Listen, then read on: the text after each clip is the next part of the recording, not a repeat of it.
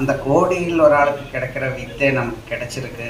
அதை வீண் செய்யாமல் எல்லாரும் அதை அபியாசம் பண்ணி சாமியோடைய நிலைக்குன்னு சொன்னால் சாமியோடைய மனோநிலைக்கு எல்லாரும் போகணும்னு நான் எல்லாருக்கிட்டையும் ஆத்ம வணக்கத்தோட கேட்டுக்கொள்கிறேன்.